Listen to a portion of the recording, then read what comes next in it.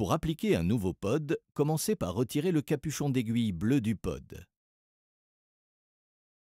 À l'aide des languettes, retirez et jetez la protection blanche de l'adhésif. Appuyez délicatement le pod au niveau du site de perfusion choisi dans la position correcte. Essayez de le placer bien à plat sur la peau afin d'éviter des plis sous l'adhésif. Une fois le pod en place, faites passer votre doigt tout autour de l'adhésif pour assurer une bonne fixation. Évitez d'utiliser des crèmes corporelles, pommades ou huiles à proximité du site de perfusion, celle-ci étant susceptible de décoller l'adhésif.